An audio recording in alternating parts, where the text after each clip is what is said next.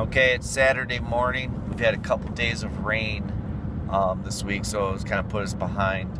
Um, we weren't real super to, get out there, get at it right away in the morning because everything had to dry up. We wanted dry as possible. We take a left at this light on McKinley Road. Anyways, um, we just knocked out a um, uh, very small lawn. It was actually in a trailer park, um, just a little bit north of uh, Flushing. Slow down, buddy. And you can make it. Anyways, we. Uh, uh, anyways, reason we ended up doing this one long, we're doing it for free. We're doing it for the whole month of May for free. Um, a couple months ago, uh, friend of ours, um, they were doing a benefit dinner and all that stuff, and auction for um, for um, friend of ours, uh, uncle that had his cancer.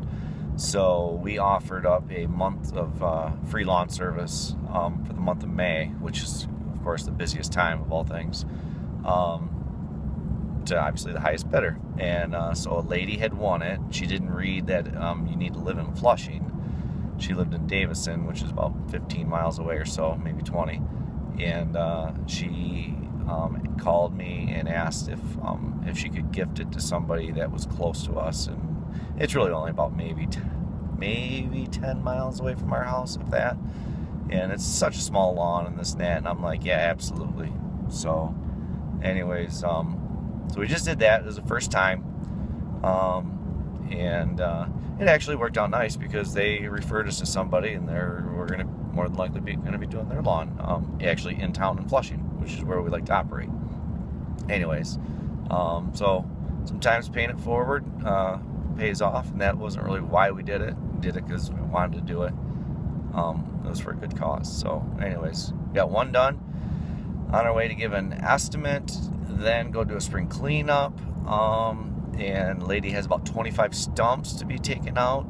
So I'll do my best to get some footage of uh, the stump man in action and uh, and a little bit of our cleanup. Um, and then we've got two or three more to take care of today, and uh, and then we'll be done. Uh, I know we gotta go. We had to go back to the house get the lawn roller to to do a lawn, but we might wait till tomorrow. Give that lawn a little more time to dry up. Everything is kind of swampy right now. All right, take care.